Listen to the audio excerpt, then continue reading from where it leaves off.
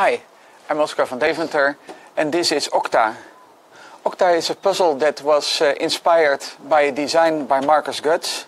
What we have here is sort of a uh, thick cheese uh, type of uh, puzzle that has been split in eight sections.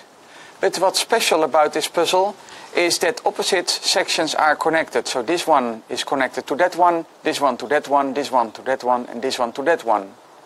So the question, of course, is uh, how can this puzzle exist? Uh, how do the pieces uh, fit uh, uh, together? So I'll show you uh, my solution. First of all, I used magnets to keep everything in place.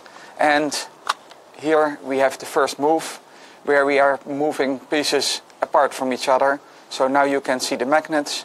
And then, let's see, I move this one here, and I can move them there and you see that they are all parts that are connected uh, at the inside with little bridges. So let's start with uh, one, this one, and I'm going to now swivel it here, and now we can swivel it out, but only when we make a bit of space between the other parts. It's a bit uh, chaotic, but okay, here we are getting the first piece out. And then, of course, once you have the first piece out, uh, we just need to re repeat the procedure for the other pieces. So here we have another one that goes out.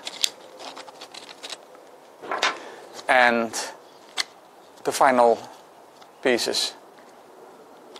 And it's uh, funny how much uh, coordination it still needs uh, to put this uh, together. So even though it's not a difficult puzzle, um, it's not uh, trivial. And of course, its design was uh, far from trivial. I needed a few prototypes to get this working.